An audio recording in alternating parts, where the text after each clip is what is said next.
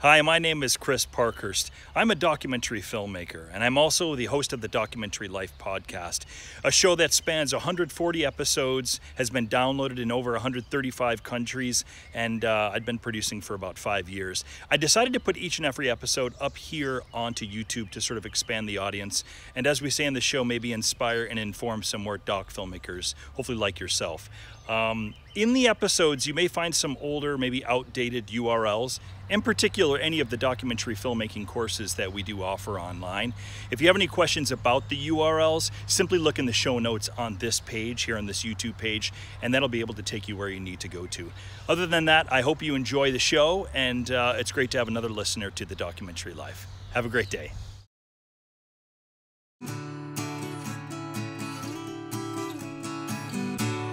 I wasn't totally sure that these accusations of voter suppression were 100% legitimate. So I went in with an open mind. But after speaking with and interviewing the 11 people that are featured in the film, I, you know, I feel like that's kind of the journey of the film.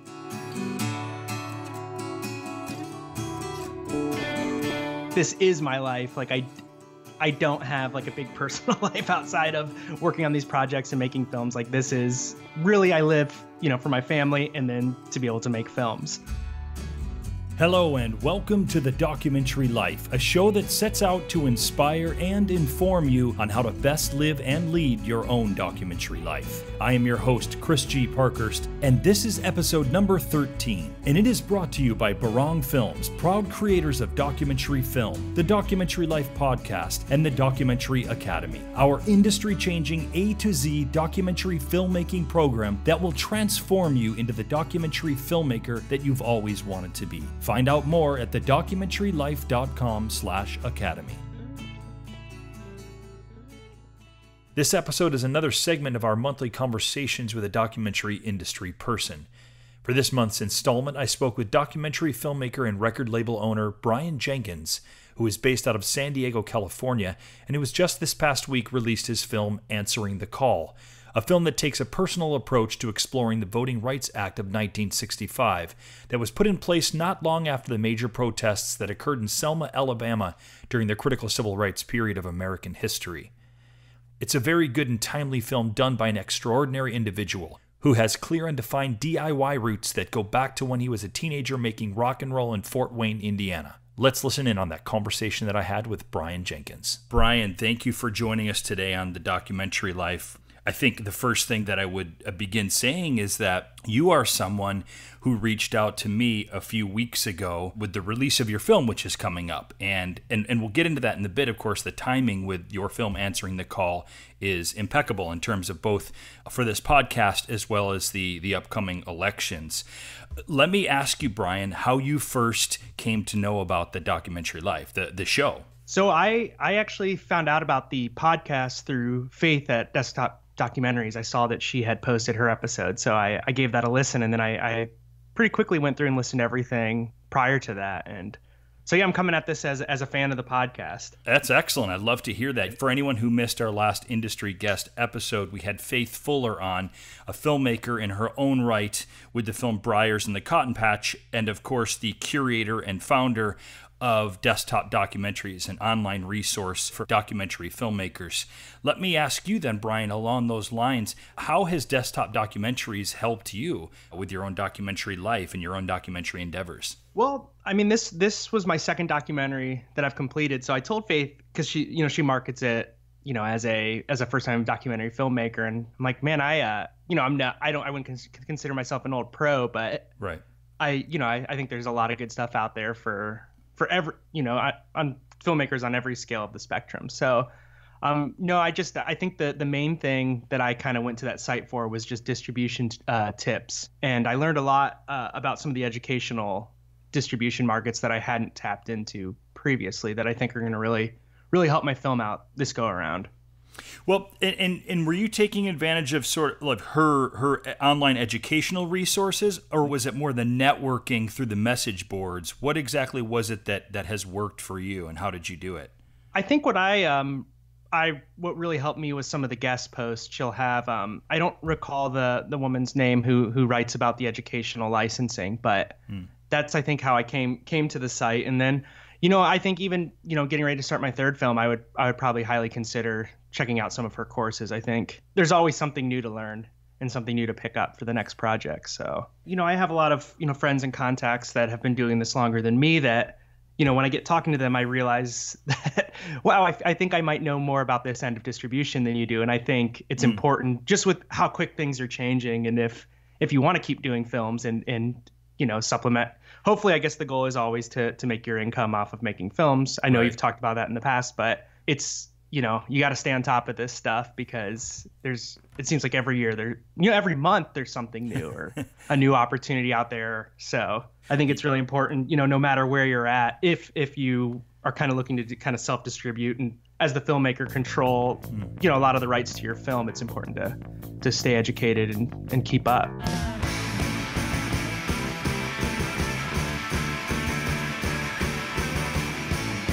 Brian, what I'd love to do is rewind a little bit because something that really interested me when you reached out to me and emailed me, and I looked up who Brian Jenkins was um, initially as a filmmaker, and then I would find out some of your background. And your background comes from music, and it comes from playing and producing music, and then, of course, with your record label, Riot House Records. Why don't you tell my listeners? And maybe it's maybe it's a little bit just because I kind of geek out on this stuff and I want to hear about it.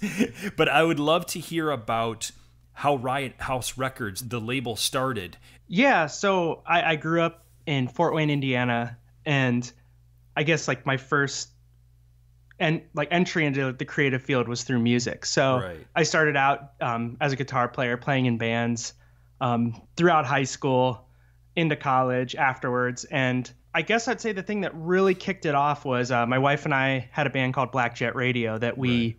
did toured for about a year. Did um, you know a couple like we did one three month run of almost uh, 90 stops, and oh, wow. after doing that, I realized you know that through that experience, um, you know, I really launched the record label afterwards. Uh, we had actually taken on tour our two year old son with us, which was an incredible experience. Yeah, so I got into filmmaking through just through the record label, through doing music videos, um, doing some live music stuff. And actually, one of the first uh, videos I produced was for a band called Empty Mansions, which was uh, the drummer from Interpol, Sam Fogarino. Yeah, I was listening to them this morning, actually. Okay, Empty yeah, Mansions. members of Jesus Lizard. Yeah, and so I uh, that that was my first mu- first music video I ever did, and it, it uh, premiered on Rolling Stone. So it was a pretty a pretty high moment for the uh, for the first kind of real professional thing I'd done. Yeah, that's exciting. And I was you know I was really hooked from there, and you know over the next couple years I you know released a lot of music through Riot House Records, but my uh, I guess my heart, my passion, sort of started to shift focuses and uh, wanting to get kind of more into film. So um, last year, or in 2015, I got involved with a documentary here in San Diego called Records Collecting Dust, right? Which was being directed by a, a local filmmaker, Jason Blackmore, and that film featured interviews with people like Jello Biafra from uh, the Dead Kennedys, mm-hmm. uh, Keith Morris from Black Flag, Chuck Dukowski from Black Flag, Mike Watt from the Minutemen, and it was a film about how people got into or I guess I guess how the the vinyl format shaped these guys' lives and artist, artistic direction. Totally. So I came on to that film as a producer and then I also uh, had the distribution rights. So that was kind of my first step into feature documentary filmmaking. And you know, from that experience I was I was hooked. And how did you how did you sort of acquire the distribution rights? Why was that something that was attractive to you?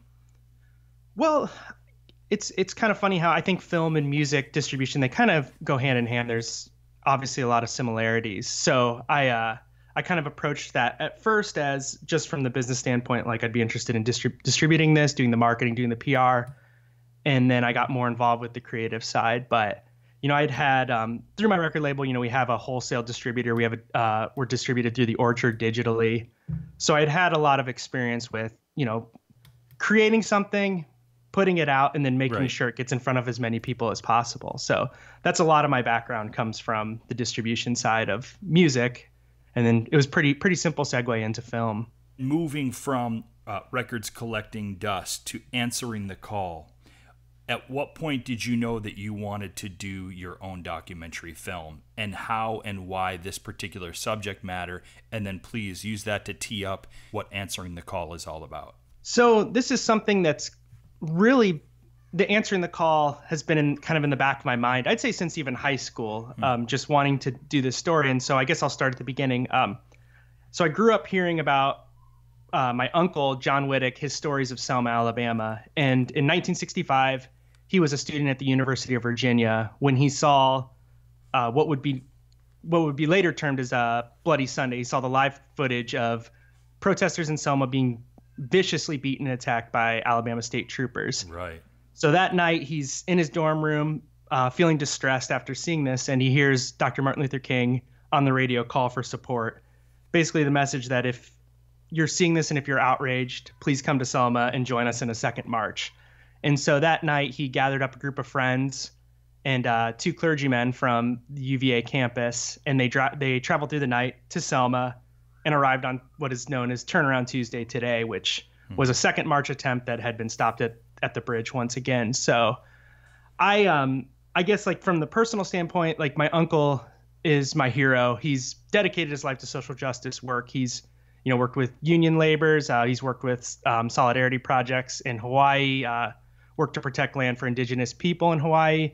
So he was just somebody that I always looked up to, and you know every every step of the way in my life, I, I always found myself asking, you know, when I had an opportunity, would what would my uncle do here? And oh, amazing. So I, I really, I really started out the idea to do this film as maybe just a short film to document his story of Selma, because you know I was fascinated that, you know, I knew somebody or I'm related to somebody that was there at such a major piece of American history, and I thought it'd be interesting to tell his story and kind of give give his perspective from sort of a spectator, just a participant. You know, we know we know about the civil rights movement through the lens of Dr. King, through the lens of Lyndon B. Johnson, but you know, a lot of history for those who took part and maybe aren't you know famous politicians or or figureheads. You know, their stories you know potentially go at one point lost. So I really wanted to honor my uncle by documenting his story. You know, as I as I got into pre-production and researching this topic, I realized, you know, I wasn't aware of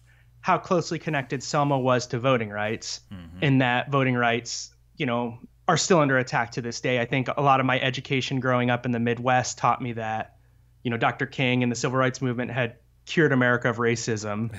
and today, and I think a lot of people have that that that's why so many, you know, white Americans have so much trouble understanding these issues today because I think I think we're indoctrinated into that belief and so I, I, I realized that this this story in this film was you know a perfect opportunity to tell my uncle's story, but then also use it to explore the state of voter suppression today in America. And that's really, sorry, was that too long winded? No, it's great. I love it. I love it, and it's it's great because how you described it really is kind of how the film is laid out. Because there the, there's the context in the beginning, you know, where where we see what had happened during that time, you know, on the bridge and what was happening in Selma, and then your uncle is brought into the film, and then from there, really, that's how you get into you know this idea of, of, the well you get into the Voter, voters rights act and what has happened since it was in place you know 40 50 years ago and and where it's at now. And in fact as you can you can describe or or maybe you can let your film describe in the past year alone more and more rights are being stripped. More of that voters uh, rights act is really being taken away across the board in many states across the across the country. And of course with you know our our election that is you know weeks away at this point it's even more appropriate in particular your film in dealing with the you know the voters rights act you know the what really kind of bothered me and what really drove me was that I feel like in America we you know we hold up Dr. King we hold up the civil rights movement we hold up people like Congressman John Lewis as heroes and we honor them pretty much across the board with with you know majority support for that movement but then I don't I, I have trouble with that because we don't honor we don't I guess we dishonor that movement when we allow like the Voting Rights Act to be struck down by the Supreme Court and we elect leaders who refuse to update it so that it can be put back into law. And right. that was something that I really you know wanted to draw that connection was that okay, if we're going to really, you know, honor these people, then the way to do that is to continue progressing with legislation and protecting legislation that came about but you know, the the Voting Rights Act, you know, second to probably the Civil Rights Act, is one of the most important pieces of civil rights legislation. And I don't think I think most Americans don't realize that it's basically uh, been crippled and, and is almost useless at this point, and it has been since 2013. It's well put, and I think you're right in saying that most of us aren't even aware that that's happened. And unfortunately, a lot of things like that happen and most of us aren't necessarily aware that's that it's happening. Um, I you know very recently you know you have what's happening in the Midwest in North Dakota with the uh, the pipeline access that's happening up there and the Native Americans who are gathering up north and that are protesting this and the story is not being heard and in fact, it's being silenced in some ways by things like the arrest of documentary filmmaker Deia Schlosberg, as well as other documentary filmmakers who are being being arrested. And a lot of that's kind of going under the radar. And so this idea of, of freedom of the press, you know, we think that it's it's just an assumed thing in this country because we're a democratic nation. But things like this are being stripped away all the time. And your film and your message is yet another example of that with the Voters' Rights Act. And I don't know. I, I, don't know what the answer is. I know that it's you're doing important work. Documentary filmmakers are doing important work. Journalists are doing the important work. But it's almost as if in this day and age, sometimes I wonder that there's, I worry that there's information overload because there are so many things that are happening that are undermining our rights that a lot of people are unaware of. Oh, and oh, definitely. I don't I don't know what the answer is because we, yeah. We please. talked a lot about that in Selma, my my uncle and I and you know, it's almost, you know, Facebook's a great tool in that you can get the message out, but I think it's almost caused people to maybe sit back and be a little bit more passive. Mm. And I've had to look at myself with this, you know, you know, just sharing a video that makes you outraged isn't really activism, isn't really, you know, taking a stand and, and trying to work towards progress. And I think um, it's caused, you know, it, it it allows you to have a million causes that you care about. But I think the only unfortunate side to that is that, you know, with like with the pipeline, that's going to be gone in three months, probably less. And we'll be asking, you know, next year, I wonder whatever happened with that. And yeah, right. So but at the the at the other side on the other side of this um you know this is something that i expected you know speaking with the people in my film you know i was i was wondering if a lot of these people that are in their 70s that were around in 1965 and worked so hard to pass the voting rights act hmm. if at this you know 50 years later seeing that we've sort of regressed in a way you know how would they respond how would they feel and i was amazed that there was an, a unanimous you know no progress has been made but progress is slow. And and it you know it requires you know it's a lot oftentimes it's three steps forward four steps back two steps forward. And so i don't know i felt a lot of um, inspiration from that because i was feeling and i have no right to feel this you know i'm 30 years old a white man in america. Right. i'm not as emotionally connected to this but i was feeling very disgusted and uh, pessimistic and wondering if anything's any better you know 50 years later or if you know things are worse in a lot of different ways and I don't know. That was really inspiring for me to speak with everyone I spoke to in the film to sort of kind of negate those thoughts for me and realize that there are people that are that are working 24/7 on these issues and I think, you know, I just would maybe remind anybody listening that if you do care about something, it's really simple to just write your congressman or call the office, you know. If if you're bothered about this pipeline, you know, nobody's nobody's checking fa- your Facebook status. Like you, you have to take action and you, you can do it in really small ways and that's something that this film, working on answering the call, has reminded me of because I was amazed to speak with um, one of the people I interviewed was uh, the senior legislative uh, councilwoman for the ACLU. Uh, her name is Deborah J. Vagins. Right. And she worked for a number of years as the lobbyist directly with George W. Bush in reauthorizing the Voting Rights Act. Mm. And she said that she was amazed how many um, congressmen who stood in the way of of fixing the Voting Rights Act after the Supreme Court ruling said that I'm not hearing from my constituents on this. Nobody's emailing me about the Voting Rights Act. Oh, you know, wow. you guys are, ma- and I think there's some truth to that. That you know, there are a lot of people upset about it, but it's not enough to just tweet it. It's not enough to just share it on Facebook. There's other things you need to do. So somebody that makes a film like yourself, like answering the call, there's a so, there's a social cause that's attached to this. I'm curious what do you think the documentary filmmaker's responsibility is when they they feel passionately about a subject or a social cause enough to make a film about it but do they have a responsibility afterwards to follow that up yeah i'm glad you asked this because i think you know i imagine there's I know there's a, a number of schools of thought on this, and you know I've read you know very established documentary filmmakers who say you should never even go into the film with a cause, and then mm. there's others that say. So I don't think there's a wrong or right way going in, and I think as an audience member you can decide if if you know a film that maybe has a message or has you know is is is maybe a little bit biased if you don't want to watch that that's okay but yeah.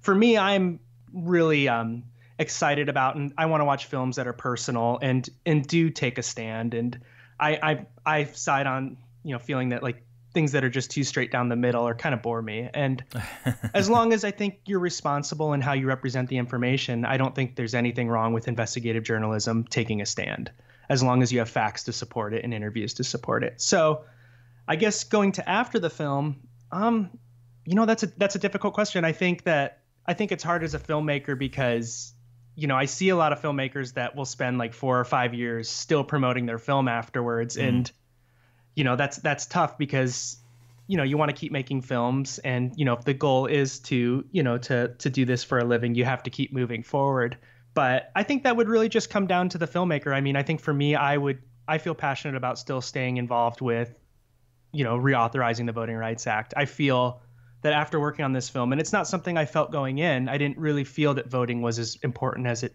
as I do today. Mm. But I think that we can't institute really any real change or move progress until the Voting Rights Act is restored. Because right now, without the Voting Rights Act in place, I don't feel that we're having a fair uh, representation in democracy. I mean, there's, you know, it's it, right now it's basically perfectly legal for states to pass discriminatory laws that wouldn't have been possible with the Voting Rights Act. So I'd say for me, I can I plan to continue my activism uh, for restoring the Voting Rights Act, but I don't necessarily think that that's an obligation for a filmmaker.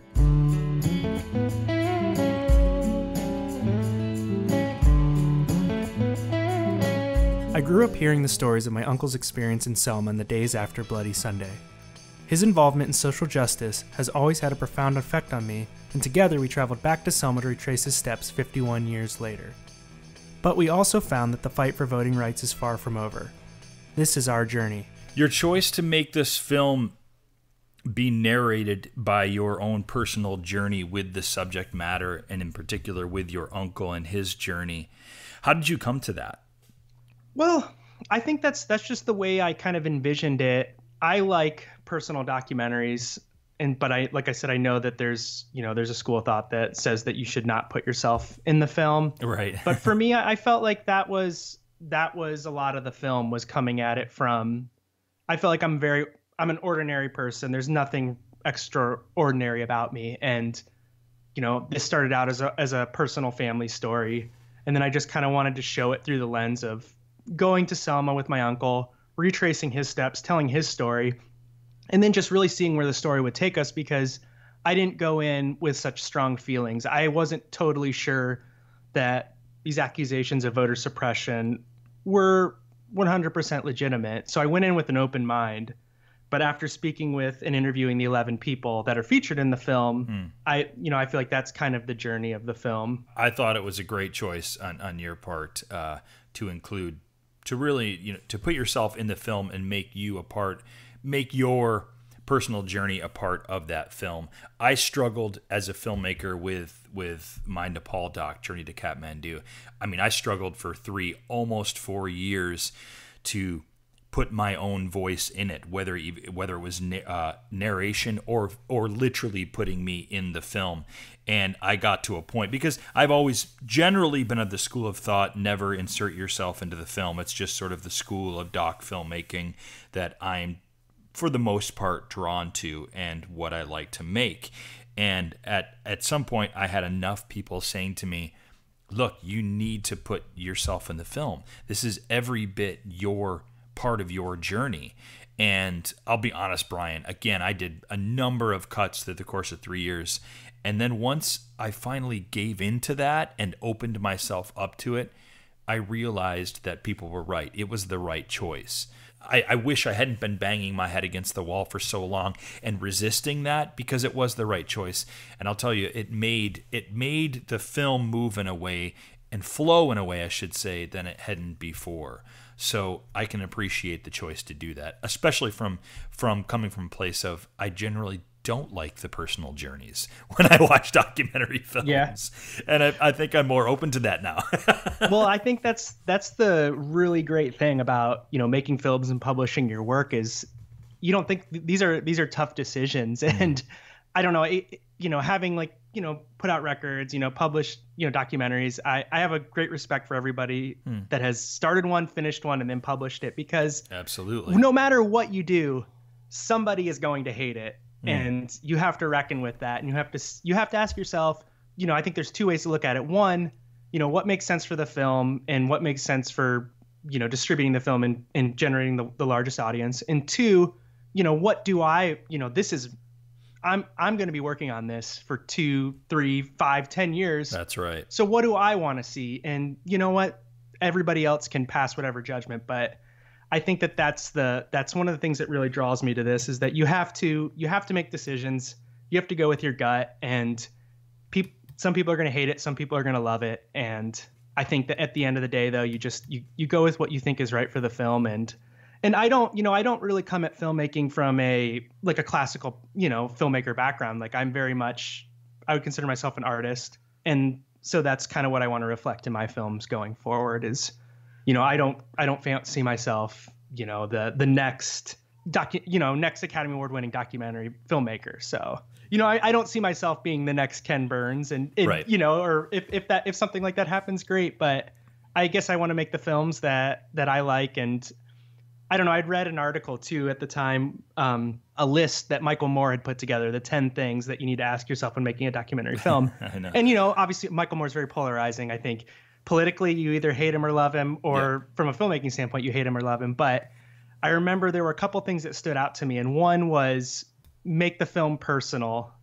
Like, and, and that, and his, his advice was that that reaches the wide, the widest audience. oh yeah. Uh, two, you know, insert humor. He think you know that that a lot of documentary films today are so serious, a little pretentious that you know what happened to what happened to to our sense of humor. And then I guess those were the two things that I really kind of gravitated towards. And like I said, And you employed them in the film pretty well. I think that I think they're both elements are definitely there. So something else that I wanted to to point out about the film some of your as you know sort of some of your aesthetic choices. And now that I hear that you're you know 30 years old, maybe I'm completely off base now. But when it's interesting, what I felt watching this was it somehow had a decidedly MTV 90s kind of feel to it. And what I mean by that was back in the early 90s, in particular when Clinton was running for election, there was there were a number there were a number of spots and a, lum- a number of public service announcements, and their MTV news coverage um, was done and shot in a sort of way that was. I, th- I feel like if somebody that watches your film, they might see some of the similarities, and some of it's in pacing, some of it's in the way it's edited, some of it's in. Um, it, it's it's it's also kind of a rock and roll movie, your movie, and it's and it's obvious that you have a passion for music, and in particular, the type of music that you're using in it. I think it speaks to some of your punk rock sensibilities, and I think it speaks to obviously some of your background. You know, I, I also remember back in the early '90s when MTV was kind of covering the the upcoming election. Uh, there was a, I felt that I definitely felt a move to vote, and they were trying to get people out to vote in a way that I don't really see done now, certainly not by MTV. And there's something I felt in watching your film that moved me on a level in the way that, dare I say, MTV did no, I, in I the early appreciate- 90s. I I, it, I appreciate you picking up on that because I think that's definitely an influence and something that I didn't shy away from. Um, You know, I you know I, I showed you know rough cuts to different people and. You know, one of the critiques some people gave was, that, "Oh, I would, you know, the music. You know, I'd like to see it go in this direction." And I think that comes down to, you know, I, I think I definitely don't shy away from the fact that I inserted my personality and tastes into this. And totally. I think I, you know, I was really targeting a younger audience, you know, people, you know, 30 and under. And Yep. I, I still think, I still think, um, you know, I still, I've still gotten, you know, great feedback from people outside that demographic too. So, but um, I think for me, like doing a project, I never want to try going the safe route. I want to Yeah. do it. I don't, I didn't have any ambition for this to be screened on PBS. It's not a PBS documentary. And yeah, I definitely, you know, with like that that 90s television like the claymation and the animation Yeah. and the dynamics and And you know, there's meta from, filmmaking like- in it, right? We see you guys plenty of times in camera, yeah and I love that stuff. So yeah, it's great. yeah i wanted you know i don't like shy away from even having you know having that feel of you know a reality tv cut even just Right. just kind of moving right. quick and and so i really wanted to my, my goal going in was to have uh, the audience feel like they were there and kind of going on the journey and not feel like it was such a talking head sort of stuffy intellectual film but i Yep, think i yep. hope that we did and i think we did you know hit some of those intellectual points and and present it in a way that i think that you know from the feedback thus far people that uh, dedicate their life to this have really appreciated the film and then people that don't know anything about the voting rights act have walked away learning something and feeling entertained and excited We noticed as we walked to the white community, the black community had no sidewalks, had no curbs, had no lighting. You could tell the boundary because the white community had all that curbs, sidewalks, and, and streetlights. We noticed a, a garage across the street, a white garage, auto repair place. And there were a couple of white guys there and they're waving, you know, come over. And so my friend and I decided to cross the street. We went over there. And the two guys who had waved to us suddenly grabbed us.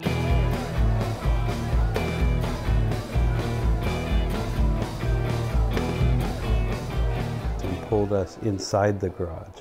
And in the garage, there were about 20 white men. They shouted at us as we were pulled to the back of the garage. Nigger lover! Traitor! And we were hauled up front, and they, they demanded Why'd you come to Selma? Why are you making trouble here? Why don't you just stay away? You're just rilling up all the black folks! They wanted to know the name of the black family and the place where we had stayed overnight. So we told them that we don't know. And uh, they said, why did you come? And we said, we wanted, we came here to find out your side of the story, find out why there is this problem. Bullshit!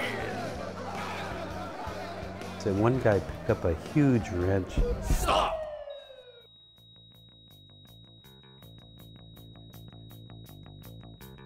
Two policemen, state troopers with these dark black Darth Vader type police masks.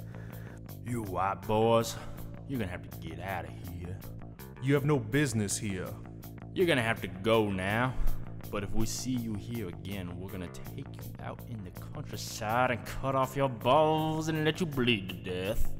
As harsh as that was, that was the nicest thing that was said to us in the garage because it meant we are going to live at least long enough perhaps to get out of the garage. I would be remiss if we didn't talk about the animation in the film.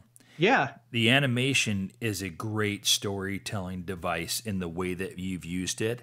And again, the way it's done harkened back to a certain a certain feeling, I guess. And the only way that I can best describe it is there's the scene where I think it's your uncle and another gentleman are going into the, this white building in Selma, and they're accosted by a number of uh, a decidedly white crowd who are very unhappy um, with what they're doing in Selma, protecting voters' rights, or or even having dinner with the black families in town. And the way that animation plays out, it really was this. It reminded me sort of of this. I remember this sort of depiction of rednecks done by by an artist who did. He's. I think he did Minutemen. He or she did Minutemen covers. There was a there was a Goo Goo Dolls album years ago called Jed that had this incredible animation. That in the, the artwork was very similar. And I assume I guess you must have gotten that again from what I'm kind of calling your sort of punk sensibilities because that artwork was very much in line with with the depiction of rednecks back then by bands like Minutemen or Dead Kennedys or you know whoever. right yeah i think the artist you're referencing is uh, raymond pettibon Yes, of course. yeah who's uh he's the brother of i don't i'm blanking but the the guitarist for black flag and Got it, okay. owner of sst so definitely that was a reference i sent and I, and I gotta obviously put his name out there uh, the animator i used his name's devin enns and Hmm. he's uh he's an mfa student at ohio state university right now Okay. so yeah that's something that we had talked about was you know making it kind of gnarly like colorful, but Oh, like yeah. also kind of cartoony, like an Adult Swim kind of look. And Totally. and yeah, that I um I made that choice because I just I get tired of watching documentaries that are all archival footage. And I felt like for Right. this, we've all for the most part, there's not a lot of new footage of Selma. And I used a I used a little bit just for context, but I didn't want it to be just narration over photographs and and archival video. So Yeah. you know, from the very beginning when I started this project, I was like, I'm gonna instead of doing that, we're gonna animate. And then the other, you know, purpose that the animation served was that you know when my uncle went down, they didn't have cameras or video cameras, so there's really no photos or anything of them there to reference. We did, you know, pour through some of the FBI's archives, and we couldn't really find anything that we were sure was them Got it. so that it also served that purpose to connect you know their story and, and animate it. And that's something that i think from day one that i had had devin in mind. I was like all right when i do this we're going to animate with him and and really kind of make it tough and gritty. And i know it's kind of funny because like for my uncle he was a little bit uncomfortable at first with how um, the portrayal and for me Oh you know the, wow! I'll bet. Of course, you know, kind of through his filter and through his lens, he experienced this, right? I, I hadn't even hadn't even occurred to me. Yeah, tell me, how did he feel watching the depiction via animation? Well, he was great because he, you know, from the very beginning was tr- entru- trusted me to tell this story and to tell it, you know, through my lens and the in the way that I wanted to tell it. But Yeah. um, you know, I think he thought at first he's like, well, that's you know, that might be there might be Southerners that take offense to these animations. I'm sure. I guess for me, like I feel that these animations, they're not, you know, they're they're comical, but at the same time, like when you pour through pictures of the Klan from 1960 to 67, they're really not that far off. And I also think that these depictions, they're they're an animation of you know the human inside and the hate and the and the anger. They're not. And, and I think that needs to come through if you're going to visually animate something. And that's kind of the point. I don't think anybody would watch it and feel like, oh, these are drawn off of characters. Like they're they are very cartoony yeah. and they're you know they're almost surreal in a way but to me the the animations express more than just you know a historical snapshot they they express the the anger and the and the resentment of of these white people in Selma for for having you know northern whites come down and and, and march alongside the African Americans and and again, I, I, I want to say to you that animation. I'm I, I'm I'm I'm warming up to it these days as a device for storytelling, but I'm generally not thrilled about animation. And I thought it was great. I loved it. It was a great way to to yeah fill in those gaps, and it was a great way to tell the story.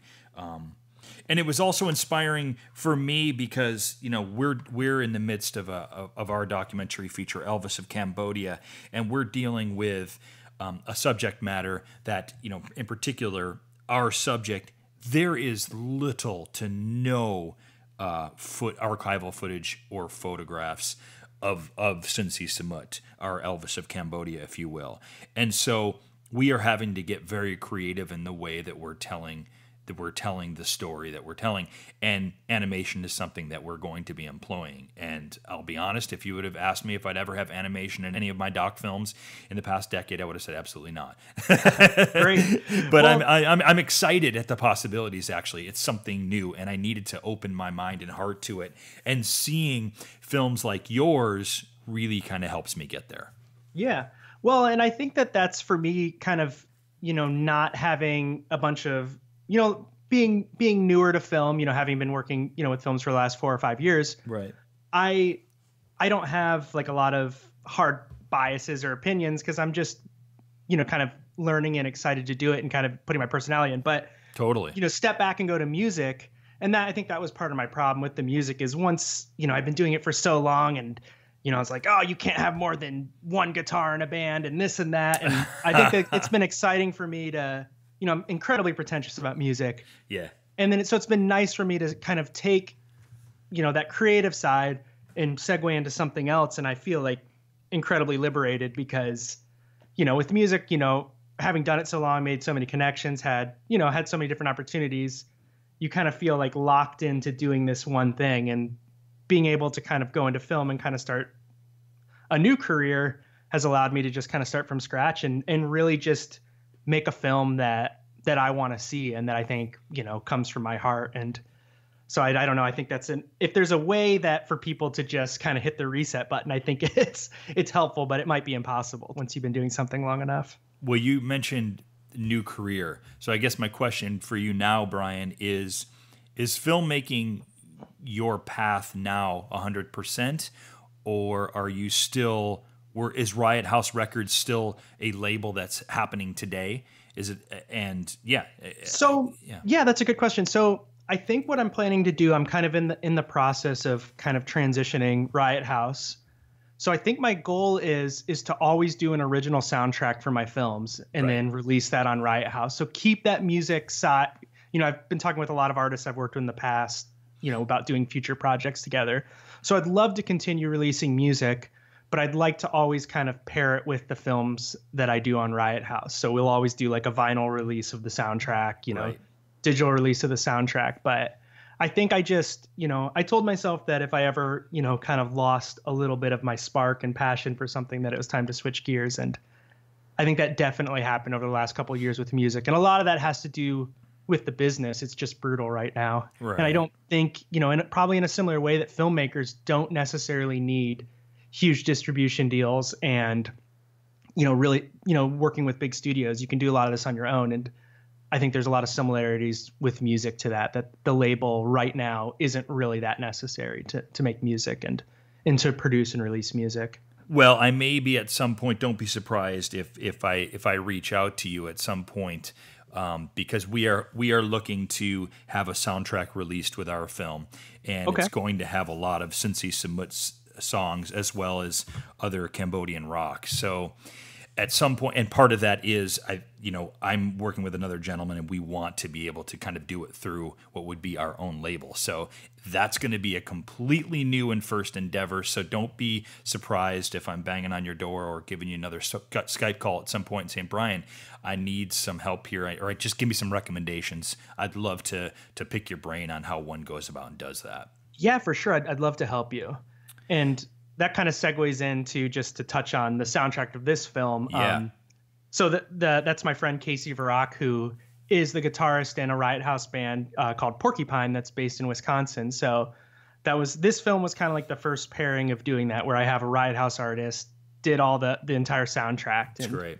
Yeah, and I, I that's something that I really like. I get I don't really I'm turned off when watching films when there's a bunch of licensed, you know, popular music, like oh, yeah. you know, and I so I know a lot of people love that, and it's important maybe to have one or two of those spots, but I really love an original soundtrack, Me and so too. I think that's where I'm bringing you know my music background to film, saying no, like every film I do is going to have an original soundtrack that you know that that makes the film unique and and adds to that. So it only makes sense that you would be doing that. yeah, right. I'm just a poor wayfaring stranger traveling through this world of woe.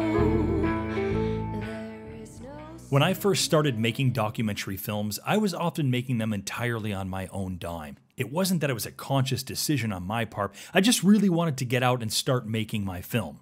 Does this sound familiar to you? When you have a great idea for a doc and the opportunity to get out there and start shooting, you don't want to let something like money get in the way of that. And for a while, it may not, but unfortunately, unless you have unlimited resources, eventually it will. Not having money for your doc film will slow you down, reduce your crew size, your film production values and aesthetics, even the story you're able to tell. And that's not even accounting for the additional stress, frustration, and your inability to work on the project full time. We don't accept that for ourselves anymore, and we don't want you to accept it either. Money is out there for every documentary film, and that includes yours. Every day, money is donated or awarded to documentary films. Why not yours? The trick is in knowing where to look for it and how to secure it for your film. In the Documentary Academy, we have the most comprehensive funding module that you will find anywhere in any course on fundraising for your documentary film. We cover the A to Z on raising funds for your film so you will never again be left wondering where the money's coming from. Enroll in the Academy today by going to thedocumentarylife.com slash academy and start your journey to raising 10, 25, or even $100,000 for your documentary film. So your film is showing now in the over the next week or two, or actually, why don't you tell us what the release dates are? I know there's if the theatrical release has happened already, and you've got some San Diego dates lined up, as well as a November, I think fourth date for here in Portland, Oregon, and then you have a video on demand release date. Why don't you let my audience know about that, and and obviously how they can go and see your film? Right. So actually, tonight uh, is the premiere in San Diego. Okay. And then it will be screening for uh, seven seven times after that. Right. And that's at a, a really neat little theater in North Park, San Diego called Digital Gym Cinema. And I'm really excited about doing it there because they're also a media arts center. So they're they're a not for profit that does uh, filmmaking classes for area youth, and then they also have you know you can join you know be an adult member and, and get discounts on equipment rental and stuff so that will be through the next week and then the last screening will be november 4th at, in portland oregon at the hollywood theater Yeah, which is a great theater. In fact, Hollywood is our fiscal sponsorship for Elvis of Cambodia, the the Hollywood Theater Organization. cool Uh, and it's it, have you been up here before? Have you been to the theater? or have you been to Portland? i have not um our records collecting dust the last film i did uh screened there and i think it was a pretty good screening but no i haven't i have not been up to portland yet i need Yeah. to need to put that on my my bucket list for Are you coming year. up here for that screening or not? no i'm not Okay. it's just just the film screening one time Got it. Okay, got it. And then, oh, then going into video on demand. Uh, after that, on October 25th, it's available on iTunes, uh, Amazon, and then Vimeo, and a number of other uh, digital video on demand platforms. Excellent, excellent. Of course, anybody can go to your website, answering the call answeringthecallselma.com. And speaking of Selma, I have to know: Do you have plans to screen this in Selma? You know, I I had tried a little bit, and one of the things I ran into with this was that I I started filming in February this year, and then had to finish by about September 1st. So it didn't hmm. leave me a lot of. I, I think that's the one. My one disappointment with this is that I didn't have a lot of time to schedule screenings, and so I, I had made the decision that I wanted to put this out before election time on video Right. on demand. So I got a. I was actually. I have a distribution deal with the Orchard, so I got Yeah. that, and then I just. I kind of sacrificed a long series of screenings to have it out by election. So I love it. I love the choice. It- yeah, we'll see how it works out. I mean, you know, Yeah. obviously there's that. It's it feels a little bit anticlimactic in some ways, but at the same time, like I'm I think that a lot of my market is is education and I think video on demand. But if I could do one thing over, it would been to buy myself an extra year to do some more film festival stuff and screenings. But Next film, man. Right. it's funny because that both the films I've done, I've kind of come at it with already negotiating a distribution deal, having that all lined up, and sort of done it all ourselves. So, in a way, I guess I've been anti-establishment and not participated a whole lot in festivals. Um, Records Collecting Dust, I think, played at three or four festivals, but you know, I, I kind of came at it. You know, initially I was like, well, what are these festivals for? And I have an uncle that teaches uh, film at American University. He's like, well, it's to get a distribution deal. I was like, well, I already have a distribution deal. So, but um, no, I would love for my next film to to kind of maybe relax a little bit and and screen it, you know, and and get it in some festivals and travel with it a little bit. But these first two though have been sort of a tight deadline. We're gonna get it done and then we're gonna put it out and it's it's it's worked so far, but It definitely in the to- future. Yeah, it seems to be working for you, man. One of the things that that struck me after watching this film was I really feel after watching this film, I now feel more than ever an obligation to get out there and vote because I feel like I don't have one, I don't have an excuse not to vote. But two, the biggest thing is because of what has transpired before me, what people have done in order to make this possible for a great number of people. I guess what I'm going to ask you is what do you say then to someone, and maybe you're talking directly to me, who is hesitant to vote because, man, they do not feel at all in alignment with either of the people that are currently running for president of the United States? I feel like if you if you are really feeling like you don't want to vote because of the two candidates, I think to me that's almost like the definition of white privilege because I feel like we oh, don't oh, wow. even I've never have heard that.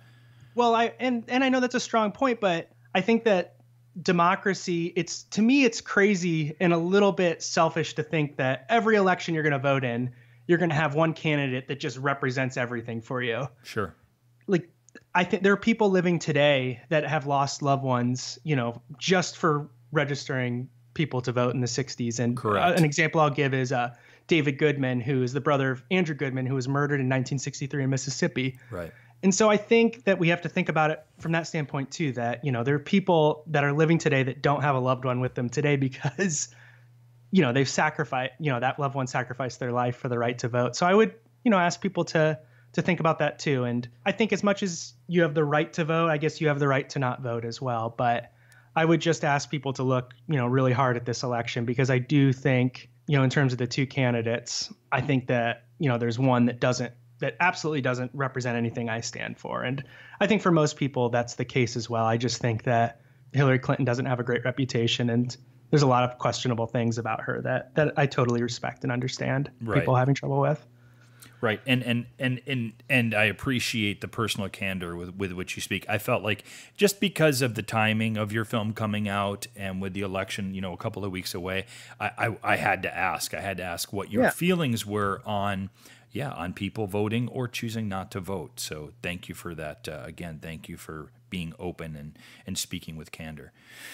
I guess sort of a final question that I'd like to ask, and it's something that I generally, you know, I'll talk about on the podcast. In particular, I'll mention this with doc industry guests is this idea of a documentary life. And the documentary life that I'm referring to is really this idea of of how people how people make their livings while they make their documentaries or while they pursue their passions of documentary films. And it seems like you're at a point in your life where you've made it you're making a transition from from the record label to now being a documentary filmmaker. So I guess I would ask you, Brian, how is it that you you feel that you lead a documentary life? Well, I guess maybe the first part would be that um, like this is my life. Like I I don't have like a big personal life outside of working on these projects and making films. Like this is really I live, you know, for my family and then to be able to make films. Yeah. So, you know, obviously at this point in time, you know, the filmmaking isn't, you know, supplementing all my income. Um, I do a lot of freelance work here in the San Diego area. I do a lot of graphic design, web design work. And then I still, you know, have a lot of rec- I still have a lot of records that are being distributed under my label that that also add additional income. But I think, you know, my goal going forward, and I've talked to a few people about this, is that I think the opportunity to, you know, eventually be self-sustaining off of making documentaries is to not sell the films and to retain all rights and just sign distribution deals. So what I, you know, I foresee in the future is, you know, having five, six, seven, eight, nine, ten films that I own, am distributing, and I think that that is, you know, a sustainable goal for filmmakers. You know, I have a lot of friends that have, you know, sold off films and really made pennies, and the, the film's gone on to do very well Oh yeah. but you know i guess you have to ask yourself you know at what point that's not even um, you know that's not sustainable so if you want to make films you know maybe there's that sacrifice of not getting all the marketing dollars not all the pr dollars but doing it responsibly to where you build up a nice little catalog and you know even if your film's doing a modest you know $10000 a year in revenue if you've got six or seven of those going, it will really allow you to keep, keep making these films. And obviously, you know, that's the goal for everyone is to get the, you know, the $1 million deal up front. But, Sure. you know, that's realistically, that's not going to happen. Yeah, and good luck as a documentary film. yeah, well, and I think it's for anything creative. I think we're sold. I think there's a lot. I think that it's kind of it's like anything with the American dream. Like you know, yeah, hard work it does pay off, but you know, very few people are going to make a living in anything create. You know, it's just not. It's just a lot of it is luck, and a lot of it is the right person seeing something at the right time, and Yeah. I think that you have to do, and I tell this to all the the bands on my label, and, and a lot of people just can't get this through their head, is that you have to do this because you love it, and there's nothing else you want to do with your life. and I think there's a great quote from Josh Homme of Queens of the Stone Age. Um, I think it's it's along the lines of, you know, if you expect anything out of your art, expect to be disappointed. you know, it's just it's the way it is, and I think that once you grapple with that and then you know you can pair that with smart business decisions but i just think that what really motivates me is wanting to tell stories wanting to be creative. Like there's nothing like i'm not good at anything else in the world. I've held other jobs. I'm not good at them. Like this is this is what you know i feel like i'm meant to do. And that's what i would tell anybody else out there is you know find a way to make it sustainable and work and i think you should only be doing it because you love it because expecting anything else i think you're going to be very disappointed Brian, what a great conversation, man. I really appreciate it. And uh, I look forward to seeing more of your films. Again, let us know how we can see Answering the Call one more time if you could. Yeah, so you can see answering the call. Probably the best best thing to do is just go to the website www.answeringthecallselma.com, and it'll be available from there on iTunes, uh, Amazon, and then if you're a college student or professor or, or faculty member, um, it's on Kanopy as well. So kanopystreaming.com. Brian, thanks for listening to the show. Thanks for being a doc lifer yourself, and thanks for being on today's show. Really excited to see where this uh, where where your career goes, man. Hey, thank you so much. Thanks for having me. You bet. Don't forget, we'd love to have you join us in the Documentary Academy. Come and take a look at how we can help you make your best documentary film at thedocumentarylife.com slash academy. That's thedocumentarylife.com slash academy. Thanks for listening, and we'll see you soon.